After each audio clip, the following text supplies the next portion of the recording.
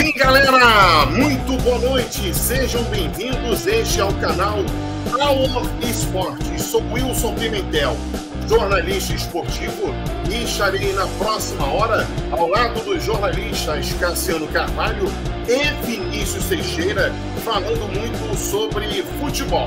Porque aqui no canal Our Esportes falamos de futebol contamos histórias, histórias que repercutem o dia inteiro nos principais veículos de comunicação do Brasil.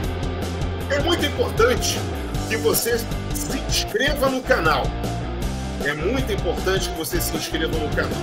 Estamos aí caminhando para mil inscritos, para um K. E graças a você, nós estamos aqui todos os dias trazendo personalidades do futebol, treinadores e jogadores, pessoas relevantes para conversar com você, amigo internauta.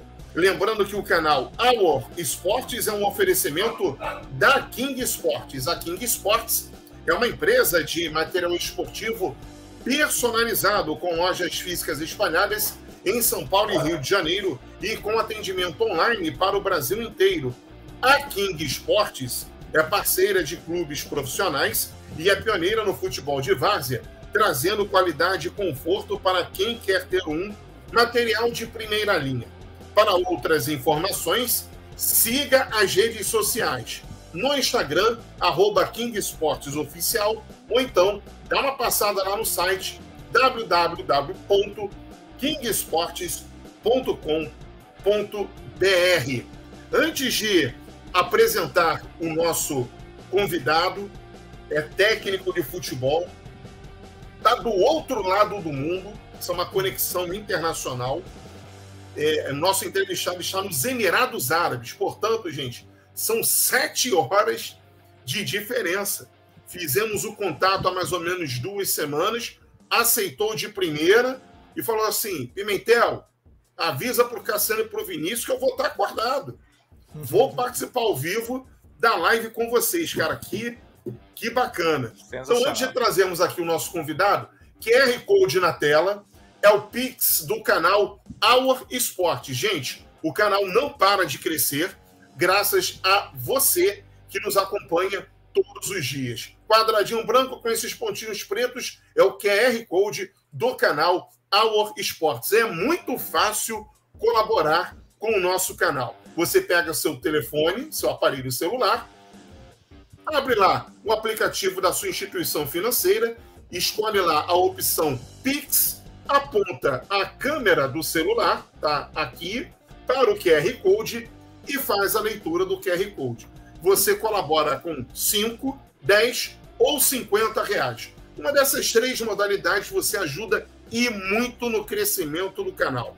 Pimentel, Pô, esse negócio de QR Code não é comigo. Vinícius Teixeira já resolveu o problema. Ó, faz tempo. Chave Pix está na tela. CTC assessoria marketing arroba gmail.com. Vou repetir. CTC assessoria marketing arroba gmail.com. Cincão, dezão ou cinquentão você ajuda e muito o nosso canal a crescer. Galera, o nosso convidado de hoje, é, para quem é oitentista e noventista como eu, com certeza vai se lembrar dele atuando durante muito tempo com a lendária camisa do Santos. É, o nosso convidado foi atleta do Santos no finzinho dos anos 80, começo dos anos 90. Tem gente por aí que ah, ele era meio carniceiro. Tem gente que diz, por, por outro lado, assim, ele chegava com elegância. E os outros falam que ele jogava na elegância.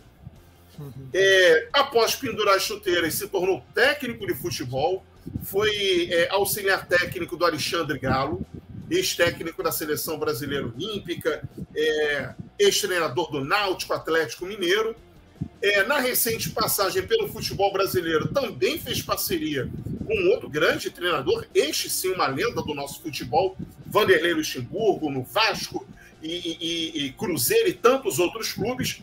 Trata-se de Maurício Copertino. Eu vi esse jogando, hein? Aí o Cassiano vai perguntar daqui a pouco, Pimentel, e aí? Eu vou dar minha opinião daqui a pouco. Maurício, boa noite, bom Não, dia. Bom dia para vocês, Rapaz, cara, esses caras vão me deixar numa situação complicada. Maurício, poxa, que alegria ter a oportunidade de é, falar contigo novamente. Cassiano e eu convivemos com você em ambiente de, de seleção brasileira durante sua passagem com Alexandre Galo na seleção olímpica do Brasil e, e agora mais recentemente no, no, no, Vasco. E conta um pouco como você foi parar do outro lado do mundo. Já é sua segunda experiência aí trabalhando é, no Oriente Médio, nos Emirados Árabes. Boa noite, obrigado por aceitar nosso convite. Boa noite, Wilson. Grande prazer estar falando com você. Obrigado pelo convite. Cassiano, Vinícius, pessoal do All Sports aí, muito obrigado. É sempre uma honra estar, estar falando com vocês aí. Vocês são uns caras de muita credibilidade, conhecedor de futebol. É sempre legal bater papo com pessoas que realmente opinam e têm sempre é, coisas importantes para passar aí para o público de vocês. É, em relação ao meu trabalho aqui, eu estava trabalhando depois que o Vanderlei anunciou que iria sair candidato a senador, né, em 2022, eu resolvi retomar minha carreira como treinador, né, a minha terceira é, experiência, né, fora do Brasil como treinador de futebol. Acho que a minha carreira internacional tem sido até o momento mais relevante do que a minha carreira dentro do próprio Brasil, né, como treinador, porque ainda não tive uma grande chance dentro do de, de alguma equipe aí, principalmente da Série B, Série A, né? Como treinador de futebol. Trabalhei já em muitas equipes aí, mas como auxiliar, como você bem disse. E agora tive essa é, uma grande uma grande proposta para mim vir para cá quando eu estava trabalhando é, no Asa de Arapiraca, que eu fui em 2022 para trabalhar no Asa de Arapiraca. O Vanderlei tem uma sociedade lá com, com o vice-presidente do clube e me convenceu para mim trabalhar lá, eu acabei indo. Fiquei só 28 dias, já recebi a proposta aqui do exterior. E como o meu contrato era muito. Né, tinha essa cláusula, se recebesse alguma proposta para fora ou para times da Série B e Série A, ele me liberaria. Foi isso que aconteceu e estou trabalhando hoje no Baniasa, uma equipe da primeira divisão do, do Emirados Árabes, na, na equipe olímpica, na, na, na idade olímpica sub-23. Que bacana, que bacana. E qual, qual, é a tua missão, a tua grande missão, é, trabalhando numa categoria intermediária, que não é nem o sub-20 nem o profissional, é o sub-23. É, é uma equipe de, de, de transição, seria isso, Maurício? Então, Pimentel, até foi legal vocês, a gente ter, né, sem querer, querendo, agora já, quinta-feira agora, na, na, na, na última quinta-feira, teve uma mudança dentro da regra aqui do futebol do, dos Emirados Árabes, que eu acho que vai influenciar, inclusive, a vinda de novos é, jogadores brasileiros. Por quê? Eles tinham uma regra aqui que o, os times dos Emirados Árabes poderiam contratar jogadores até 21 anos, residentes, que eles chamavam residentes, que eram brasileiros, que vinham para cá a preço bem baixo. Eles, se fosse um cara de qualidade, depois acabavam é, é, fazendo um contrato e até naturalizando esse jogador para jogar na seleção dos Emirados. E eles mudaram essa regra. Agora, é, os jogadores profissionais que ficam no banco, eles podem descer para jogar na sub-23. Então, o que, que, eles querem fazer com isso? Eles querem é, estimular mais o jogador local, porque eles estavam vendo que estava perdendo muito espaço, porque estava trazendo todo mundo, estava trazendo muito jogador da América do Sul desconhecido, principalmente do Brasil. E agora eu acho que vai afetar um pouco esse mercado aí, porque eles liberaram geral agora, mas para dar mais é, oportunidade para os jogadores locais. Cara, interessante. Isso no final das contas acaba até ajudando né, o, o Copestino no desenvolvimento do, do futebol local, né? Sem dúvida. E para mim também é bom, porque agora eu vou começar a trabalhar com os caras, qualquer jogador lá de cima que tiver que vir jogar no time de sub-23, pode jogar, pode ser o maior, maior jogador da equipe. De repente ele está é, é, voltando de uma, de uma lesão e quer primeiro fazer a transição ali no sub-23, ele pode vir. Então agora eu acho que vai ser bacana, porque eu vou trabalhar agora realmente com os jogadores é, de, de é, da, da primeira equipe. Cassiano, Maurício Copertino, nosso convidado, é, trabalhou na seleção brasileira, no Vasco e tantos outros clubes é, de elite aqui do futebol brasileiro. Está na tela o nosso convidado, Cacá. Boa noite. Ô Maurício, boa noite, prazer receber você aqui no Aura Esportes. Boa noite, Vinícius, Pimentel. já vou começar defendendo o Maurício Pimentel, porque o Maurício eu vi jogar um pouco, mas vi. E aí a gente sabe que não era muito Porque, ô Maurício, todo treinador que vem aqui, que foi jogador de futebol, a gente faz um raio-x para quem não lembrava como era. O Moacir é, teve com a gente aqui anteontem, técnico da Parisidense, sabendo disso, Aí ele já falou o seguinte: não, na minha época podia bater um pouco mais, eu batia mesmo, dava carrinho, e eu era assim, me virava desse jeito. Aí ele já se entregou, mas o, o, o Maurício não, o Maurício era um zagueiro de qualidade. Quando tinha que dar, dava também, mas era de qualidade.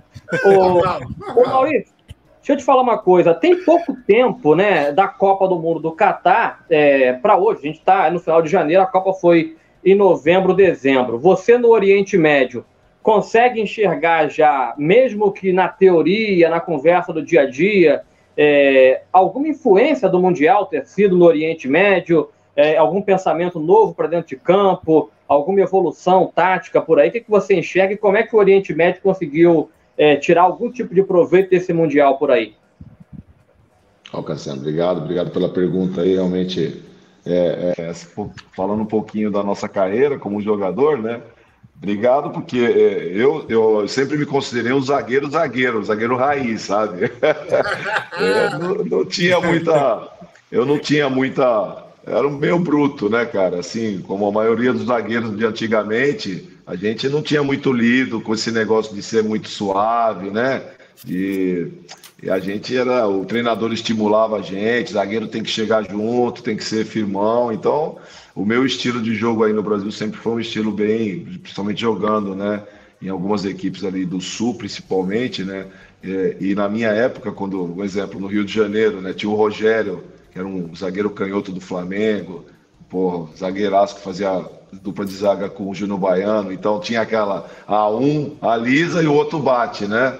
Então, na minha época no Santos era eu e o Narciso. O Narciso era um jogador que tinha muita qualidade técnica, e eu chegava a porrada dos caras, né? Então tinha essa situação aí que, que a, gente, a gente tem que expor aí, né? E obrigado pela moral, né, cara? Tá, tá pré-agendado com a gente aqui, o Rogério também. É, Rogério então. Então, no final, é, falando... bato, Maurício, no final a gente bate, no começo a gente dá aquela moral. Tá, é verdade, é verdade, é verdade. é, Voltando aqui é, é, para sua pergunta, você, fa... só me desculpa, eu fugi um pouquinho aqui o que você. Eu, a tua, o que já está para tirar de proveito da Copa do Mundo no Oriente Médio, mesmo com ah, pouquíssimo sim. tempo, você já vê alguma coisa por aí?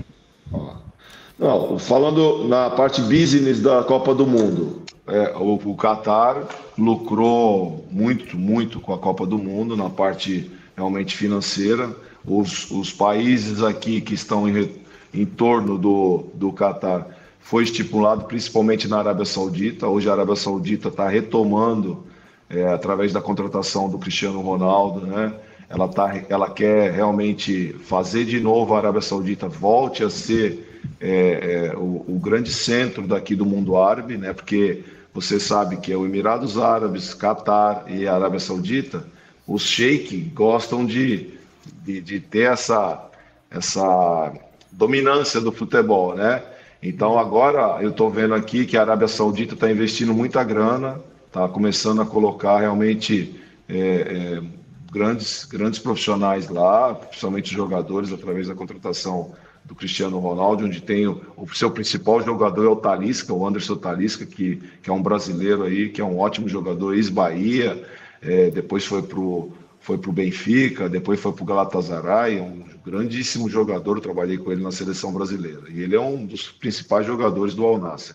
Agora, em relação à parte é, tática, é, é, a minha opinião é que a Copa do Mundo, essa Copa do Mundo específica, ela, ela, ela foi muito rasa em relação à parte tática e da grande maioria das equipes, principalmente as, as que a gente criou mais expectativa, né? Eu acho que o que prevaleceu, como sempre, é, é, a gente começa, a gente comenta aqui, né? Eu acho que os valores individuais nessa Copa foram muito importantes, sabe? quem tinha grandes jogadores individualmente e os principais, é, principalmente das grandes seleções, eu acho que isso daí foi realmente o que ficou muito evidente, porque eu vi muitos jogos aqui ao vivo e vi muitos jogos aqui pela televisão, e, e vou te falar um negócio, Cassiano, é, taticamente eu, eu, eu esperava muito mais dessa Copa do Mundo, e realmente não aconteceu é, muita, muitas novidades em relação a essa situação. É, a gente conversou com alguns técnicos aqui que batem nessa tecla também. Taticamente, nada de muito novo foi apresentado.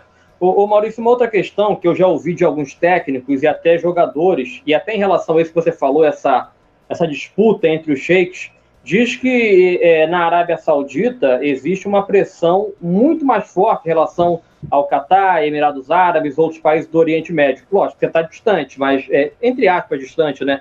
Você consegue enxergar isso também aí no Oriente Médio? A Arábia Saudita realmente é onde tem mais pressão? Ou onde você está. É, pressão de torcedor, dia de jogo, clima mais parecido com o Brasil? Como é que funciona?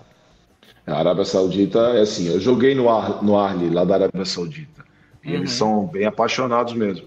Aqui no, no, no Emirados Árabes é tranquilo, minha equipe é bem tranquila, não tem esse tipo de pressão. O que existe é o Sherman, o presidente, o, o sheik, quando a, a, equipe não vem ganhando, é uma pressão normal de, de, qualquer diretoria em cima da sua comissão técnica, né?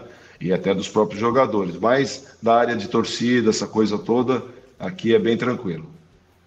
O, o, o, o Maurício, já há algum tempo, né, a gente não vê é uma movimentação tão expressiva, né, como você bem destacou, de um clube é, do Oriente Médio é, no, no, no mercado da bola. E aí, do nada, se contrata o Cristiano Ronaldo, ah, mas está em final de carreira, mas é o Cristiano Ronaldo.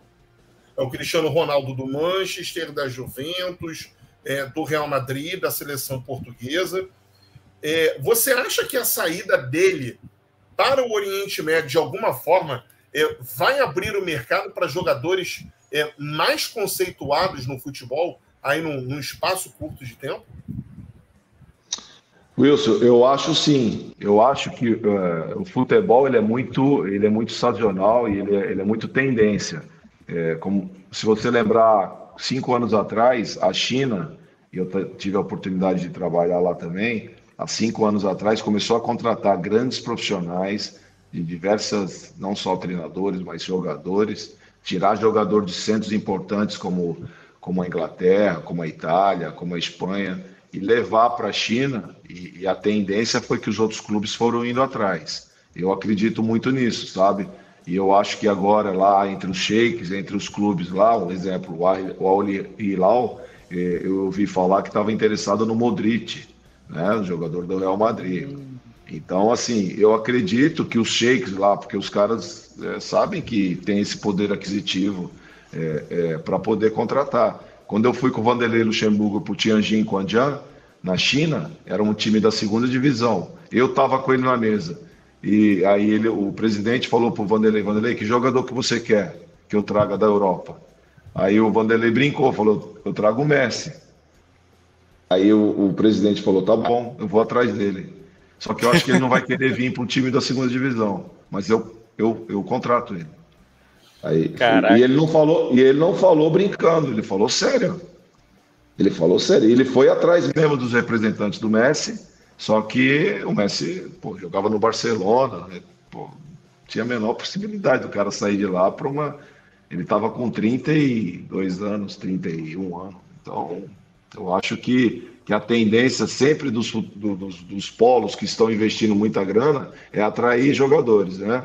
Eu acho que, que é isso. Eu espero um dia que o Brasil possa se organizar também, né? Os grandes clubes aí do Brasil, como o Flamengo vem fazendo, como o Palmeiras e como outros tantos aí, o Grêmio trouxe agora o Soares, consigam trazer também jogadores europeus para o futebol brasileiro, sabe? Que a gente Pô, eu tô aqui fora, cara, eu tô vendo cada coisa e tô escutando cada coisa que, que às vezes a gente, pô, eu, eu tenho. Eu vou falar isso quando eu voltar pro Brasil, sabe, cara?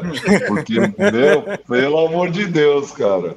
Eu tenho muita esperança ainda que o futebol brasileiro e vocês todos possam colher frutos, não só a gente que trabalha com futebol, mas quem faz comunicação do futebol, porque eu acredito muito nisso, sabe?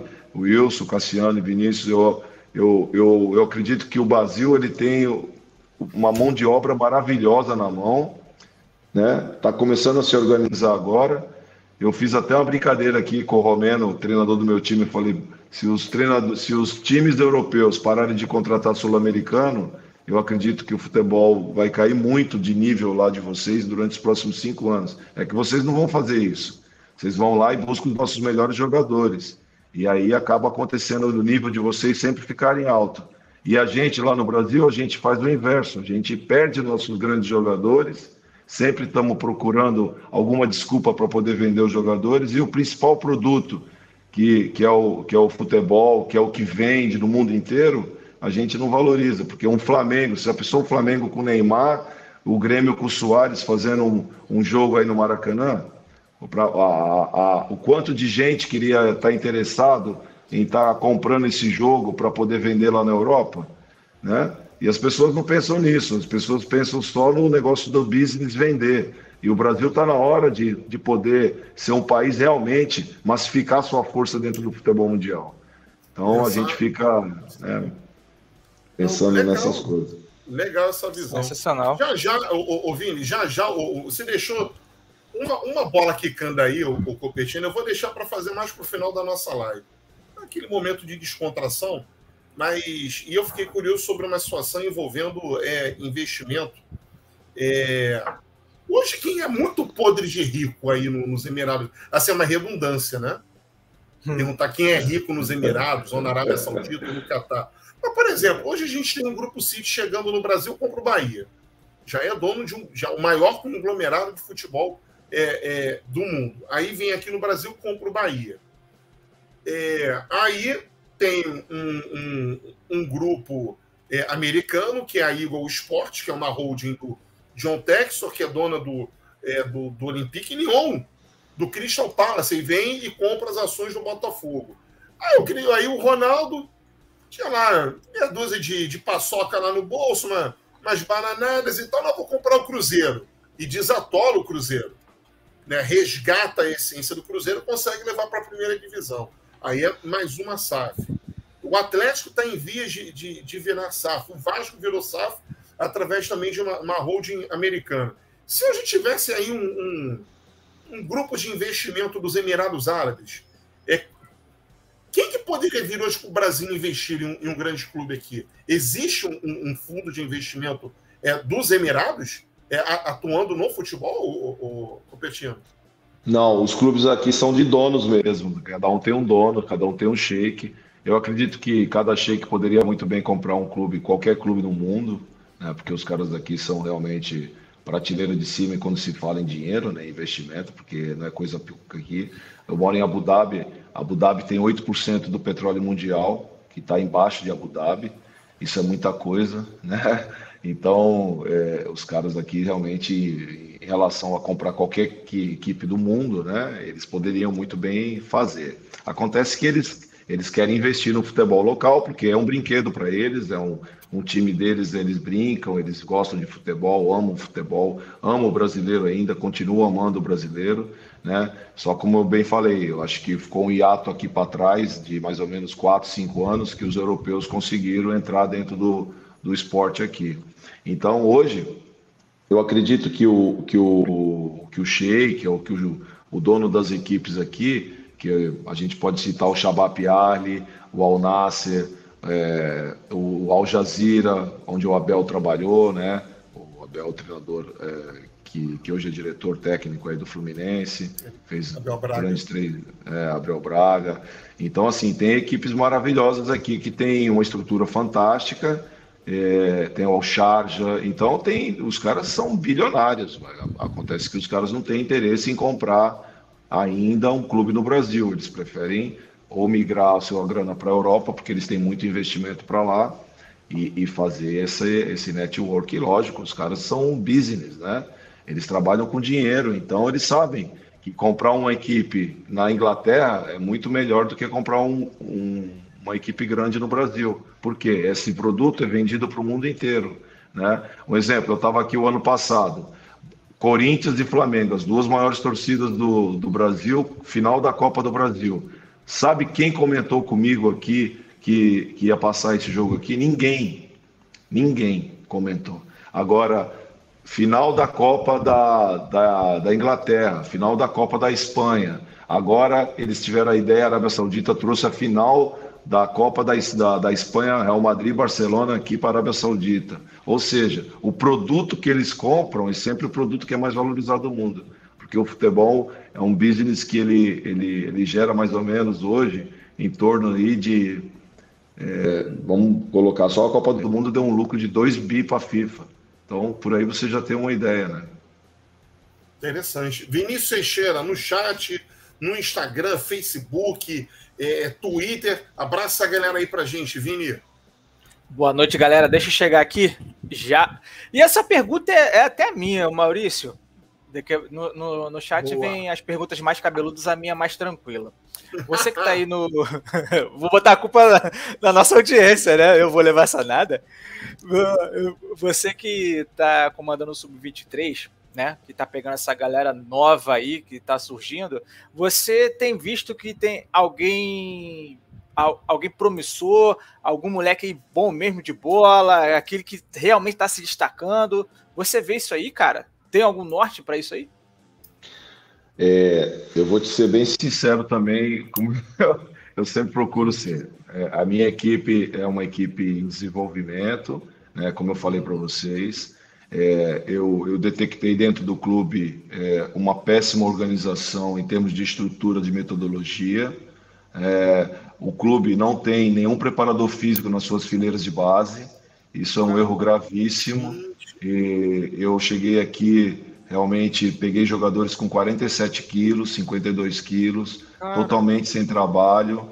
Então, eu não vou é, é, falar para vocês que eu estou trabalhando numa grande equipe de, de, de futebol Ibirados, estou trabalhando sim, mas a metodologia toda que está aqui, na minha opinião, eu fazendo um raio-x, hoje já estou aqui há seis meses, e eu falei isso para o presidente, porque ele me pediu meu repórter, e eu falei para ele que as, as minhas, as minhas é, observações dentro do clube, se ele, ele, ele investe mais ou menos 6 milhões de dólares por ano nas categorias de base do clube.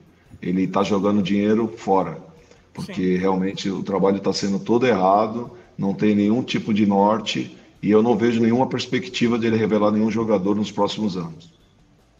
Caramba! E como é que eles trabalham, Maurício? E, e, ouve isso de boa e, e, e te chama para fazer é, um trabalho, te chama para fazer um projeto? Ou você acha, é o que você disse, eles estão apenas brincando de futebol manager. Como é que você, você vê o desenvolvimento do seu clube nos próximos anos? Acredita que isso pode mudar ou não? Porque é, é soa como um absurdo isso que você falou há pouco sobre o preparador uhum. físico, sobre o preparo físico dos atletas. É, é, é, estranho, né? Qual o pensamento deles quando você passa essa visão, esse, essa sua ideia, esse seu conceito?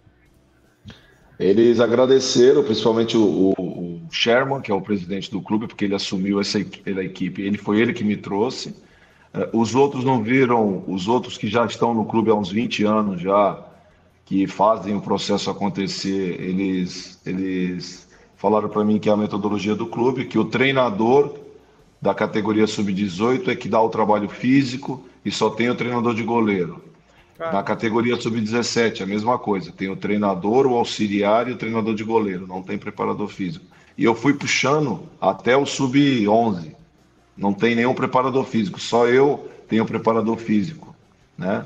E aí eu perguntei para ele, eu falei, por que, que vocês não acreditam no preparação física, já que esse, esse profissional é importantíssimo, principalmente quando se fala em formação de atleta.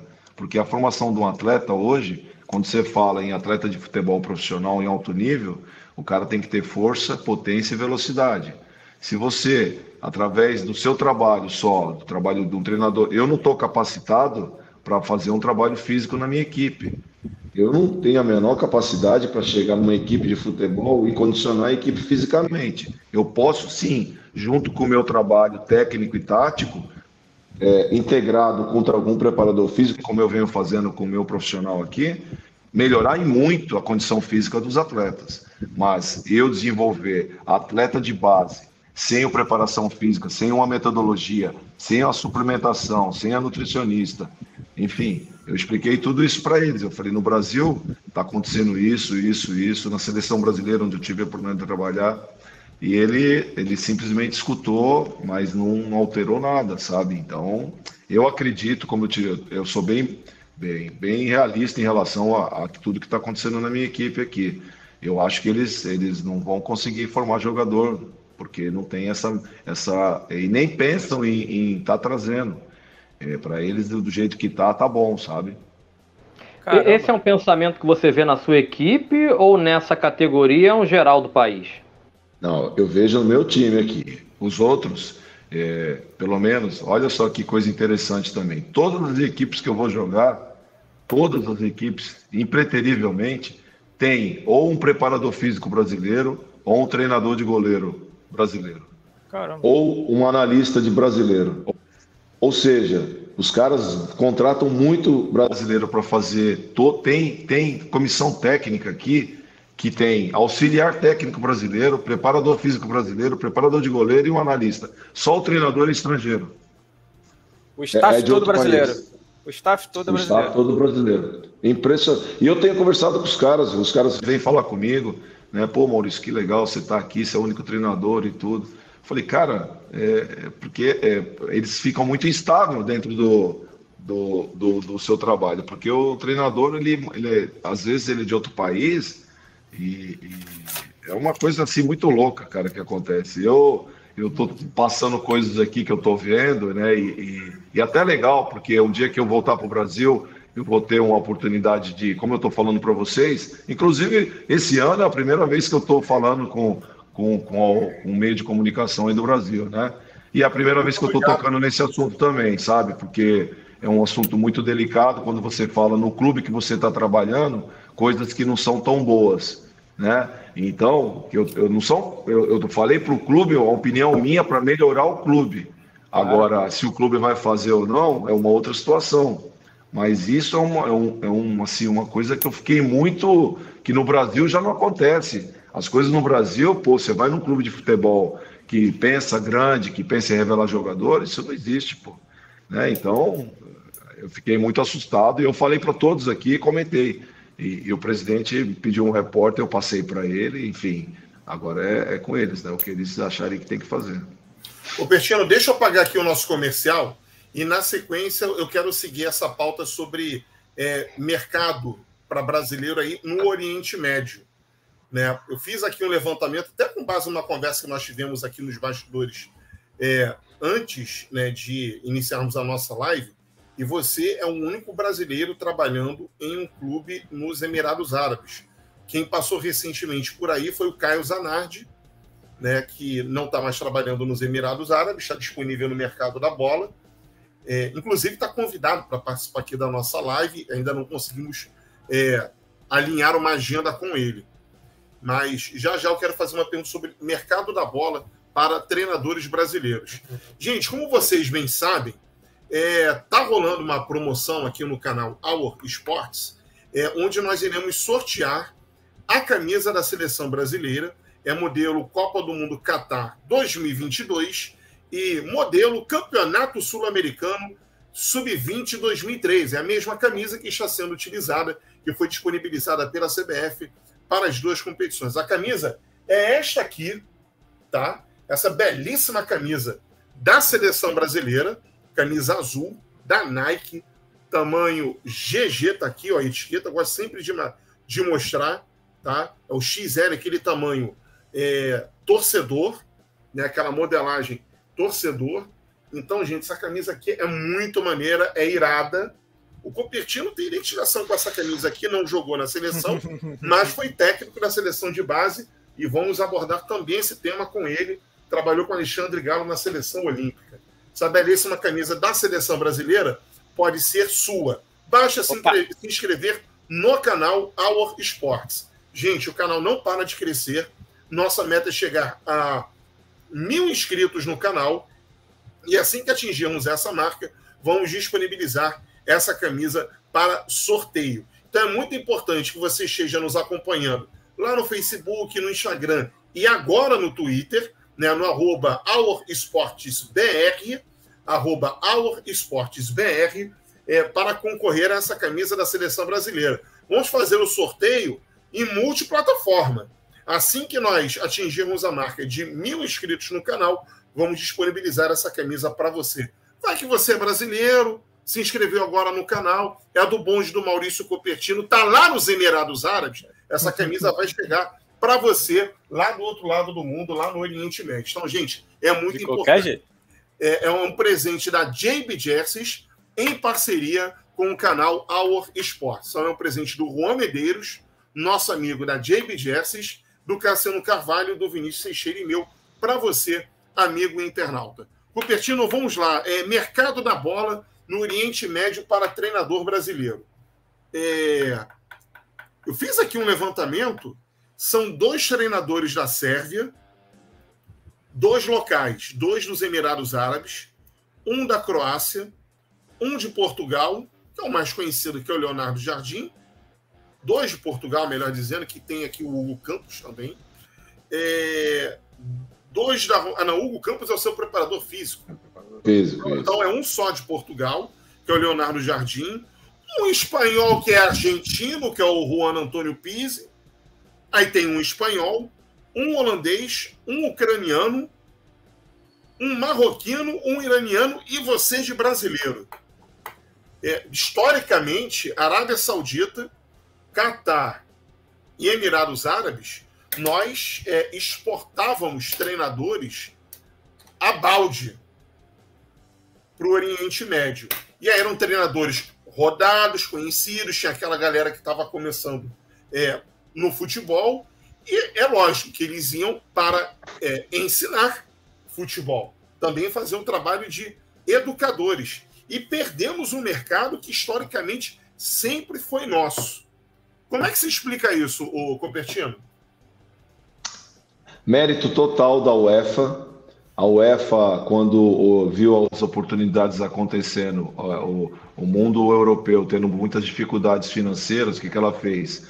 Ela começou a visitar as confederações desses locais que você citou, inclusive da China, inclusive do Japão, inclusive do, da Coreia do Sul, que eram três mercados fortíssimos também. E a UEFA, através, na época, acho que era o Michel Platini, começou a visitar as federações e falar das, licenças, falar da divulgar das licenças dos treinadores, que era importante eles todos adotarem isso daí, porque seria elevar, iria elevar o nível dos treinadores num, nos, nesses países, e, e conseguiu convencer e implantar essa situação aqui.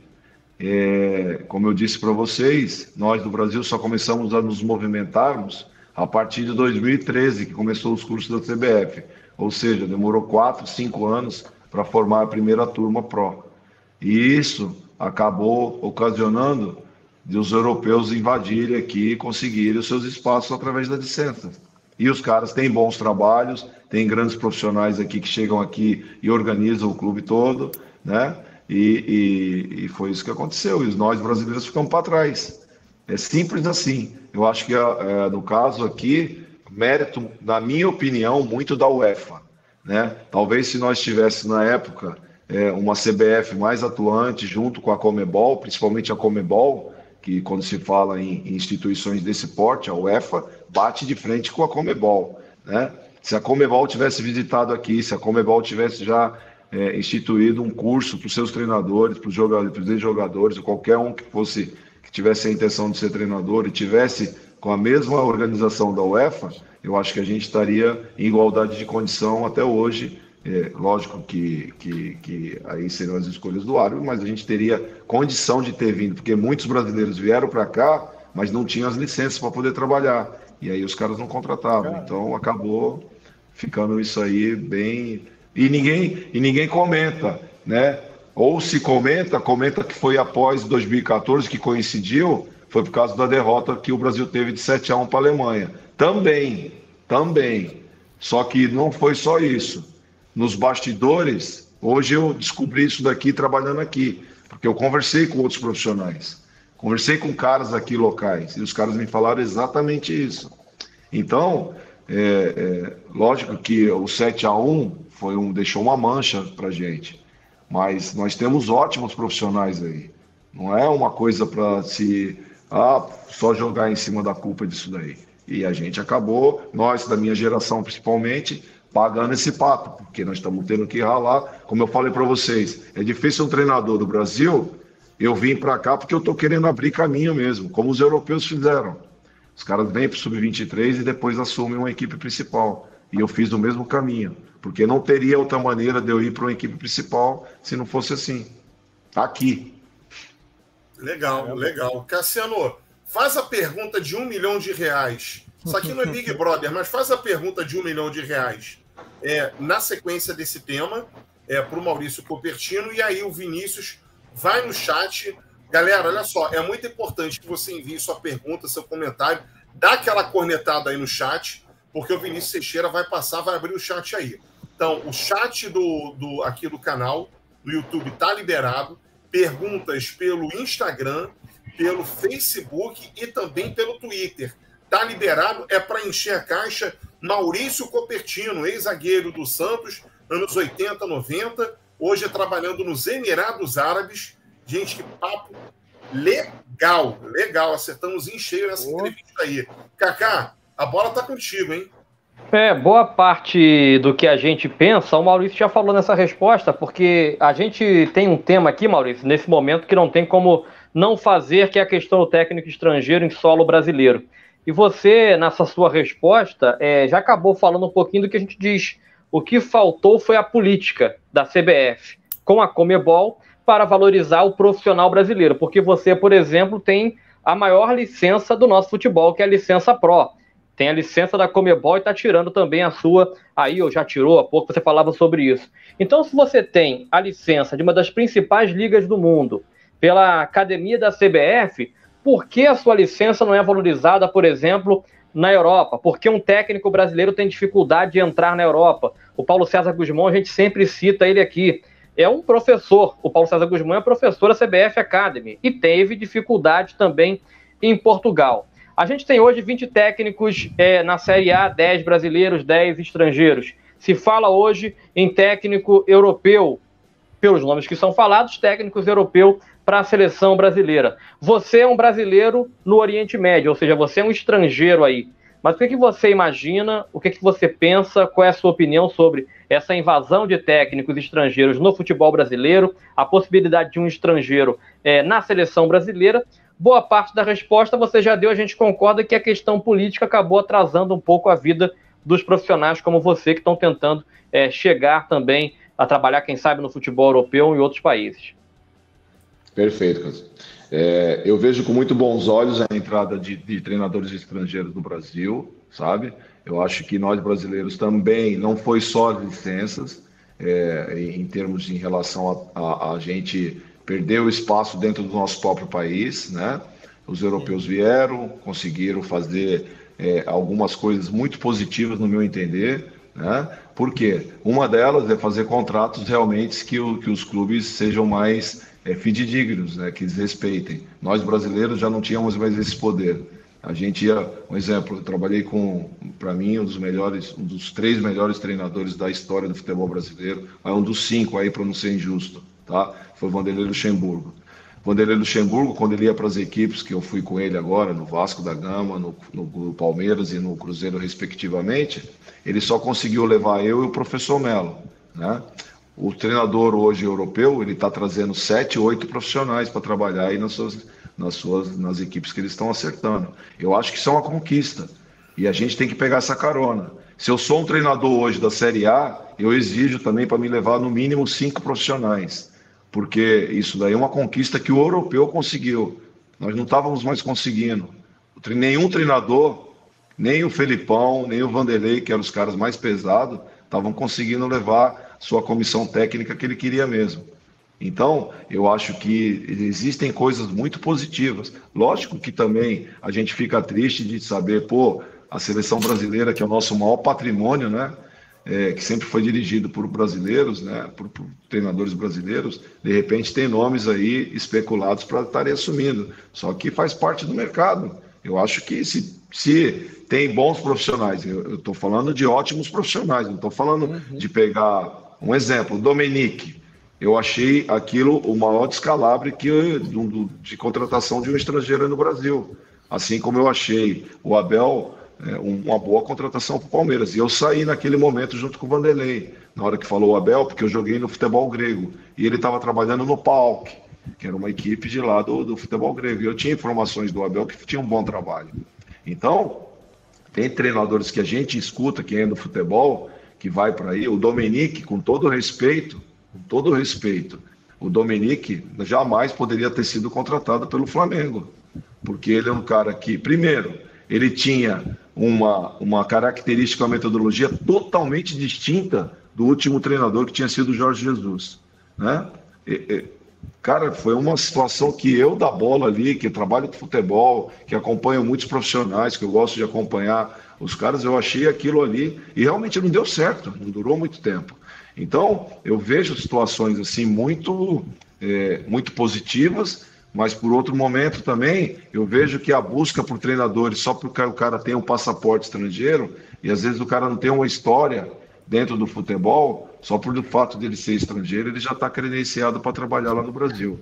Eu passei uma vez na Grécia, como eu falei para vocês, em 2019, e apareceu um clube para trabalhar. Eu joguei lá durante três anos no Paranaíqui, uma equipe da, da cidade de Patras, e o clube se interessou em me contratar. Na época, a licença da CBF não servia na Europa, né? E eu conversei com o presidente, tinha tudo eles foi verificar, não poderia trabalhar lá porque eu não tinha a licença UEFA, tinha que tirar a licença UEFA. Falei, não, não vou tirar, minha licença é Pro, tenho da Comebol que está saindo agora, infelizmente, tranquilo, eu volto para o Brasil. E depois de uma semana eu fiquei sabendo que o treinador que assumiu, ele tinha uma licença Pro da Geórgia, ou seja, é, nós da CBF não poderíamos ter assumido uma equipe na Grécia. E o cara que tirou a licença Pro pela Geórgia, ele poderia, ele, ele assumiu uma equipe. Então, realmente, são situações assim que, que a gente fica triste, né? Porque a gente não, com todo respeito, a gente tem uma história dentro do futebol, né, cara? Isso daí não está sendo respeitado mais.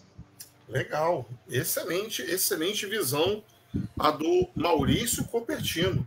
O, o, o, Vini, passa aí no chat. Tem muita gente querendo saber sobre o trabalho dele lá no Oriente Médio, passagem pelo Vasco, passagem pelo Cruzeiro. Vamos lá, parceria com Vanderlei Luxemburgo, seleção brasileira, Alexandre Galo. Cara, o que tem de pergunta, o chat está bombando aí para o Maurício Copertino, Vini. Rapaz, eu vou mandar aqui para ti uma pergunta que está surgindo muito aqui, que é você trabalhando com o Luxemburgo. O Cândido, que há muito tempo não estava aqui, voltou, mandando pergunta do Luxemburgo. Tem mais aqui que eu gostei, que é mais completo um pouquinho. Do Heitor Olímpio, mandou aqui, vou até fazer essa aqui do Heitor. Boa noite. Como você. Como e quando começou sua parceria com o Vanderlei Luxemburgo? Valeu a pena trabalhar com ele? Ele o incentivou a trabalhar no Oriente Médio? São três e um, hein? Aí é contigo. Vamos lá. Primeiro, um, um, grande ícone, um grande ícone na minha vida profissional. Depois eu tive a oportunidade de eu sair da seleção brasileira e estava disponibilidade no mercado. O Vanderlei fez um ótimo contrato na China e, e, e me fez um, um, convite que eu não esperava, né? Porque eu nunca tinha trabalhado com ele. E ele ficou sabendo que eu estava em disponibilidade. E o David, que era o seu auxiliar na época no Cruzeiro, permaneceu no Cruzeiro. Ele ficou sem auxiliar e ele veio atrás de mim, me fez uma excepcional proposta de trabalho, né? E, e, e, foi um prazer. Trabalhei com ele na China, trabalhei com ele no Vasco da Gama, no Palmeiras e, e no Cruzeiro. É, realmente ele é, ele é acima da média. Tenho, tenho ele como um mestre mesmo. Aprendi muito. Foi uma NBA que eu fiz depois que eu, tive, que eu tirei meu curso da CBF Pro, né? Eu fui trabalhar com um cara que realmente tem, tem uma história lindíssima dentro do futebol na qual me eu, eu simplesmente absorvi muitas coisas do que ele me passou, sabe? Realmente ele, ele foi um cara muito especial na minha vida profissional. Tenho, tenho muita gratidão por ele, além de ser um excepcional é, profissional que dentro de campo, né, igual um jogador que é acima da média, né? Quando você trabalha com ele, joga com ele, quando você está jogando com ele, você vê as coisas que ele faz maravilhosas. Eu vi o Vanderlei fazendo coisas ali que, que eu nunca vi ninguém fazendo, né? Então, isso aí, eu vi, eu presenciei, eu, eu, eu vi o cara fazendo. Não foi que ele leu no livro ou que ele viu no Google. Ele fez porque ele viu, só ele viu aquilo ali. E, e, aí depois ele me falando, eu falo, pô, você viu isso daí? Pô, então é impressionante. E, e foi maravilhoso. Ele não teve nenhuma influência para mim vir para cá. Apareceu uma situação realmente de, eh, foi colocado aqui o meu currículo para o presidente do clube, o presidente gostou muito. Outra coisa que eu queria falar para vocês que o profissional brasileiro tem que se preparar muito é falar inglês para poder vir trabalhar aqui que isso é muito importante também, sabe? Isso é uma coisa que, que o profissional brasileiro tem que começar a se preocupar. Nós, profissionais brasileiros, é, essa é a minha visão. É, e eu estou estudando agora espanhol para aprender o espanhol, porque eu quero ver se não aparecer nenhuma proposta para mim lá no Brasil, é, no Brasil, é onde é, eu quero ver se eu consigo alguma equipe na América do Sul. Porque eu acho que o profissional brasileiro, ele não, Tá certo que a gente briga muito para ficar trabalhando no Brasil, só que nós temos muita capacidade. Eu estou vendo isso aqui com o meu trabalho aqui, comparando com o trabalho do Romeno, que é a primeira equipe. Eu não devo nada para o trabalho dele. Meu trabalho é muito parecido com o trabalho dele em termos de metodologia, de ideias, né, de agressividade na forma de jogar futebol. Eu, eu tenho certeza do que eu estou falando para vocês, né? porque eu estou vendo, eu, ninguém está me falando, eu, eu trabalho do lado do profissional que, que ganha quase um milhão de dólares por, mês, por, por temporada aqui. E, e, ele é um romeno, tem a categoria, tem a, toda a comissão tem oito profissionais trabalhando com ele, e eu estou vendo o trabalho que eu estou fazendo no, no Sub-23. Se eu tivesse aqui mais cinco profissionais, eu estaria falando, fazendo ou melhor um trabalho do que ele, em termos de trabalho de campo. Então eu sei que o profissional brasileiro Hoje tem muitos profissionais capacitados para fazer qualquer trabalho no mundo inteiro. Só que as oportunidades, às vezes, a gente fica esperando só no Brasil. Acho que não. Brasileiro tá, tá ruim aí, vambora, cai para outro canto, vai disputar um, um, campeonato peruano, disputa, vai buscar teu espaço como fez agora o Thiago, sabe? Não fica se lamentando, porque se a gente ficar com essa, ah, com esse negócio da, da síndrome aí do, não, nós vamos perder cada vez mais espaço, porque o mundo o mundo, ele tá, os caras estão invadindo. E a gente só está querendo trabalhar no Brasil. É Pô, sabe? Então, eu acho que o brasileiro também tem que, tem que tomar essa iniciativa. Nós, treinadores brasileiros, temos que sair da casinha. Começa a incomodar os caras também, vai procurar o trabalho em outros países, porque é assim que a gente vai começar a mostrar o nosso trabalho novamente. Legal, Cassiano. É, é isso aí, o, o Maurício, que você está falando é interessante porque a gente vê muito treinador reclamando né, da chegada dos estrangeiros, a gente vê o treinador é, reclamando que não tem espaço na América do Sul, mas a gente não vê ninguém se dispondo a fazer isso que você disse. Tô, já é, falo inglês fluentemente, estou fazendo espanhol para tentar, é, se não voltar para o Brasil, quero trabalhar na América do Sul, quero trabalhar em país de língua latina. Isso falta realmente do profissional querer abrir o espaço, como a gente aqui.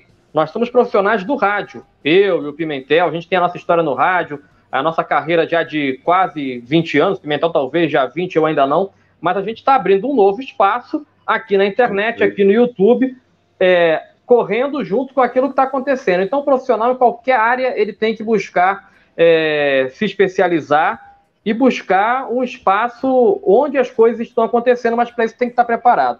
Mas a pergunta não é essa, não. É sobre o Vanderlei.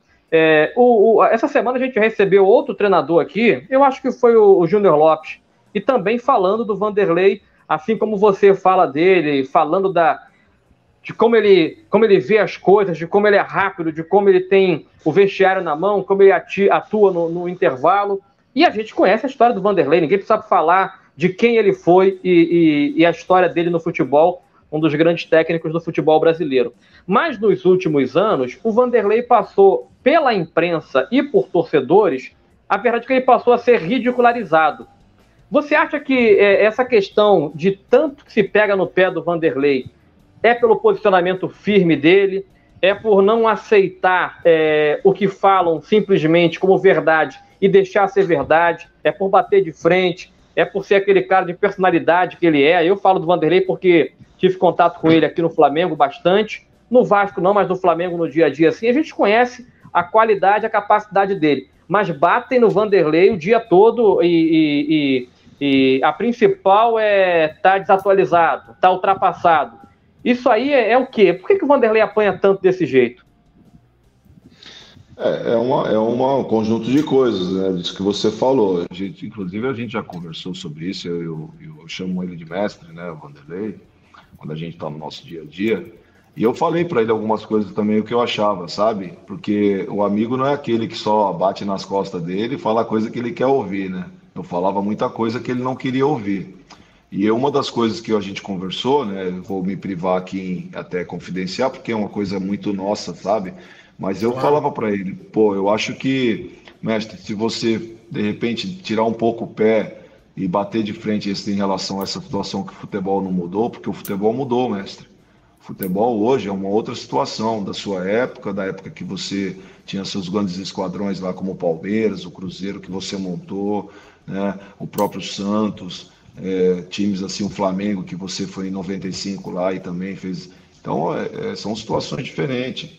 E, e, ele tinha uma resistência mesmo, porque ele é um cara de grande personalidade. Ele vai pro embate mesmo, ele não tem medo de estar tá com de, de os caras falarem mal. E, acabou, às vezes, alguns profissionais aí, porque realmente quando você tem um microfone na mão, é, é, é complicado, porque bate de frente com, com um profissional que de repente começa a falar que ele está desatualizado e ele fala que não está desatualizado, e as coisas acontecendo. Realmente, é, a gente que é do futebol, sabe que, que o Vanderlei é um dos caras mais atualizados aí da história do futebol. O cara colocou tudo que está colocando aí lá no Bragantino em 91. Então, você não pode falar que um cara desse é desatualizado. Só que é, as ideias de jogo, essa situação, o Vanderlei pensa de outra maneira. E às vezes ele falar do linguajar dele, as pessoas classificam ele como está desatualizado, mas muito pelo contrário. Né? É, isso que você falou é um, é um, conjunto de coisas. Do lado pessoal, acaba não gostando dele, ele acabou tendo muitos problemas aí durante a sua caminhada, e às vezes o cara leva isso aí para o lado pessoal. Essa é a minha opinião em relação a tudo que você falou. Sim, acho que ele teve esses problemas sim, porque da questão dele bater de frente com os caras.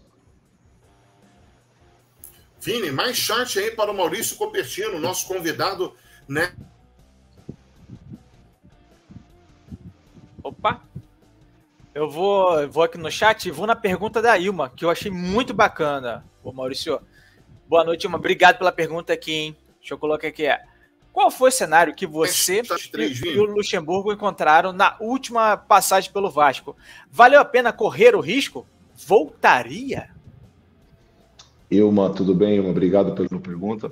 É, foi um risco mesmo, né? É, a gente sabia, o Vanderlei veio comentar comigo, a gente tinha acabado de sair, é, acho que foi do Palmeiras, eu acho, não foi? Ou do Cruzeiro, não me lembro muito. Foi em 2021 para 2022, foi da, da pandemia, né? Foi, foi quando o Vasco caiu. E, e eu voltaria sim, porque o Vasco é uma grande equipe, principalmente com o Vanderlei, né? e a, a, gente não se arrependeu de ter voltado, mas o quadro realmente era muito crítico, como todos sabem aí, é, a falta de pagamento, é, a desorganização, toda essa situação realmente fez com que nós chegássemos no clube, tinham acho que 12 rodadas para faltando para a gente poder salvar a equipe e não conseguimos, né? Foi um risco na carreira do Vanderlei, foi um risco para nossa, só que quem trabalha com futebol às vezes tem que arriscar. E foi o que o Vanderlei fez em consideração muito a última passagem que ele tinha, tinha que nós tínhamos passado lá em 2019 fizemos um grande trabalho, né? De repente ele estava é, alicerçado ali em cima daquele trabalho e teve a esperança de poder salvar novamente o Vasco. Mas não foi possível, mas em nenhum momento houve arrependimento de, de ninguém que, que acompanhou o Vanderlei, do próprio Vanderlei. Nós voltaríamos sim, porque a equipe do Vasco é uma camisa pesada, uma grande torcida e, e se você faz um grande trabalho lá, seu, seu, seu trabalho é reconhecido no Brasil inteiro. Só um parênteses, Ovini, rapidinho aqui, só para deixar claro, claro, que toda vez que a gente traz um convidado aqui, a gente vai atrás né, de, de informações, a gente vai apurar. Uhum. E o, o, o Cupertino, a gente não vai fazer média aqui contigo, não, porque como o, o, o Vinícius sempre fala aqui para todo mundo, de vez em quando rola uma bola quadrada. Mas essa é uma bola redonda, é, e com todo mundo que a gente conversou, né? é, nesses últimos dias, como confirmando a sua presença aqui no canal, é, você é praticamente uma, uma, unanimidade dentro de São Januário. Quem teve a oportunidade de trabalhar é, nessa última passagem do Luxemburgo, mas conviver contigo diariamente, vou te falar, e o Cassiano conhece muito bem política, os bastidores, sabe o, o mecanismo do futebol do Vasco. É difícil a gente encontrar uma pessoa que saia do clube lá com, com carimbaço de, de nota 10 da carteirinha. Hein? Você, você no futuro pode bater lá na porta de São Januário que a galera gosta de você. Vai, Vini. E eu vou trazer até a pergunta aqui do Cândido, que ele mandou aqui pra gente. Ele falou aqui, ó, o que aconteceu aquela vez que vocês vieram para o Vasco e livraram o Vasco do rebaixamento e não permaneceram para o ano seguinte? O que, que houve aí, Maurício? É, houve, o, o, como eu acabei de falar para vocês, o Vanderlei recebeu uma. Primeiro ele tentou acertar com o Vasco e eu acho que não houve um acerto financeiro, não sei o que aconteceu, porque a gente só é comunicado né, depois que o Vanderlei ah, acerta. E, e aí, nesse interview, eu estava de férias, eu tinha ido viajar, e eu recebi uma, uma, ligação do Vanderlei falando que ele tinha acabado de ser procurado pelo Palmeiras, né? E aí, quando entrou o Palmeiras no, no negócio, entrou forte, e aí não teve mais retorno. Acho que foi isso que aconteceu, sabe? Porque é, até outra coisa que foi legal, não só passar pelos clubes que nós passamos, eu, isso não foi coincidência. Isso aí é uma situação que eu gosto de falar mesmo, porque às vezes é, é, a gente tem que vender nosso peixe sim, sabe? Como a gente fala as coisas sinceras e falar, os três clubes que nós passamos, eu, o Vanderlei e o professor Melo, nos últimos trabalhos que nós fizemos no Brasil, foi o Vasco da Gama, o Palmeiras e, e o Cruzeiro, certo? Nós revelamos mais de 300 milhões de jogadores para os clubes. Só no Vasco da Gama foi o Thales Magno, Peck, Matheus Peck, o Bruno, volante, que hoje está no Curitiba, eu acho, é, e outros jogadores que ficaram, que estão aí trabalhando hoje na equipe principal. No Palmeiras, Patrick de Paulo, Gabriel Menino, Danilo, que foi um jogador que ninguém falou para nós e nós achamos ele no coletivo lá do Sub-20, que ele era o quarto reserva e, e depois se tornou um grande jogador, assim como tantos outros. O Cruzeiro, isso eu estava presente. O, o Rock, que hoje é o centroavante da Sub-20, está fazendo uma grande competição, foi comprado por 25 milhões e tem uma proposta agora de 18 milhões de libras do futebol europeu. Também foi a gente que buscou ele lá no Sub-16, ele não era nem Sub-20, além de outros jogadores. Ou seja, o Vanderlei Luxemburgo, nos últimos três anos, e isso aí é uma situação que tem que ser constatada, ele, ele, ele buscou para os clubes mais de 300 milhões de reais de, de receita, só revelando o jogador. Pois é, e tem gente que não, que não respeita o Vanderlei Luxemburgo. Você falou de um nome interessante aí, o, o, o Maurício, que é o Thales Magno. Né? Ele, quando surge no Vasco um fervor é, em, em, em, torno do nome dele, e é impressionante como ele conseguiu corresponder às expectativas num espaço muito curto de tempo. É, é, é impressionante, né? Como, como vocês, e aí não é só o Luxemburgo, né? É, com, vocês, como comissão técnica, é, tiveram olhos de lince, né? tiveram habilidade para saber trabalhar o jogador. É, ele sai do Vasco vai para um mercado emergente que está crescendo, que é a Major League Soccer, adquirida aí pelo Grupo City, é, jogando lá no New York City, né, dos Estados Unidos. É, é jogador com potencial de Europa? O Thales Magno? Sem dúvida, é um jogador que ele está evoluindo cada dia. Vou te ser bem sincero, quando ele subiu, ele tinha 16, acho que para 17 anos, que nós puxamos ele no Vasco da Gama em 2019. É, faltava muita coisa para ele ainda, sabe? Nós, como profissionais do futebol e acompanhando o dia a dia, ele tinha, a gente brinca, ele tinha alguns defeitos de fábrica, mas isso é normal, isso é normal para um cara de 16 anos, né? É, hoje, como vocês sabem, vocês são conhecedores de futebol, para na Europa, para formar um jogador, eles falam que tem que ter 10 mil horas de rodagem nas suas categorias de base. Sabe quantas horas tem o jogador brasileiro para na sua categoria de base? Não passa de 3 mil horas. Caramba. Então, a diferença são 7 mil horas quando o jogador chega lá no profissional com 20 anos para jogar lá, a do Brasil, porque a gente não consegue fazer isso, porque as etapas são queimadas. Você está vendo a Taça São Paulo que foi conquistada pelo Palmeiras ontem, né? Todas as equipes são a segunda equipe dos, das grandes equipes. Os primeiros jogadores, os padrão FIFA que a gente fala, já estão tudo no profissional. E os seus empresários não deixam mais os caras disputarem a Taça São Paulo. Essa é a realidade. Por quê? Porque o cara já exige, porque tem proposta da Europa. Então o cara já nem joga mais pelo sub-20. Poucos jogadores, pouquíssimos jogadores ali das, que disputam a, a Taça São Paulo são os principais jogadores do, da sua, das suas categorias, das suas equipes respectivamente. Então, é, essa formação no Brasil, ela, ela é quebrada o tempo todo. Hoje em dia, nenhum jogador brasileiro tem a formação completa. Na Europa tem. Na Europa tem. Os caras fazem 8, 9, 10 mil horas. Isso é entre jogo e treinamento. Vocês estão entendendo o que eu estou falando, né? Uhum. Para um jogador se formar na Europa, desde o seu sub-8, sub-7, sub-8, sub-9, blá, blá, blá, até chegar ao sub-19, ele tem que ter uma de 10, até 10 mil horas. Aí ser considerado que o cara foi trabalhado, perna esquerda, perna direita, cabeceio, domínio, passe. No Brasil, o jogador de base, ele no máximo 3 mil horas. Então, quando você escuta falar, isso eu sei porque eu pesquisei, eu quando eu trabalhava na seleção, eu fui atrás, eu conversei com vários clubes na Europa, eu conversei com vários clubes no Brasil, e no Brasil isso não acontece.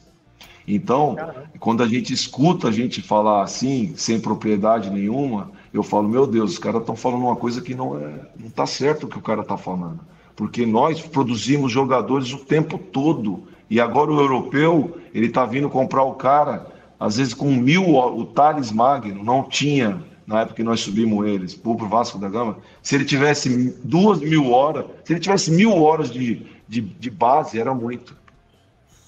Caramba, impressionante. Vini, mais um chat aí para o Maurício Copertino.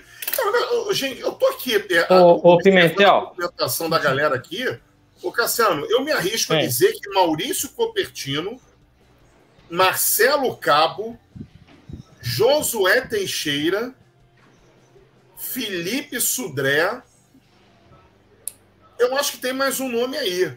Mas eu acho que esses quatro aí estão disputando títulos de rei do chat do nosso canal. Rogério Correia, Rogério Correia do Volta Redonda. É, o Rogério é. Correia, rapaz. Na Globo, antigamente, tinha o rei das cartas, aqui é o rei do chat. O rei o... do chat. Eu vou, eu vou passar pro, vou passar pro Vinícius fazer a pergunta, mas é só um comentário. É, isso que o Maurício está falando, aí você imagina aquilo, Pimentel, que foi dito pelo Fernando Marchiori aqui, algumas semanas atrás, técnico do ABC de Natal.